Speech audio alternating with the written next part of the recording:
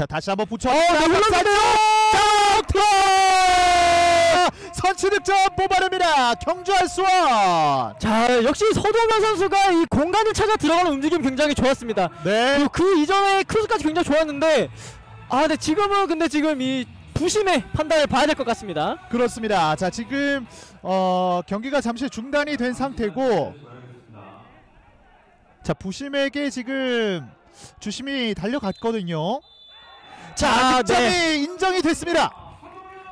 자 서동현 선수는 이렇게 되면 리그 15호 득점이 됐습니다. 네, 지금 이 정민우 선수와 지금 득점이 동률은 됐지만 이 경기 수에 따라서 지금 이 밀려 밀려날 수가 있기 때문에 서동현 선수는 일단 한 골 더 넣어야 될 필요가 있겠습니다. 그렇습니다.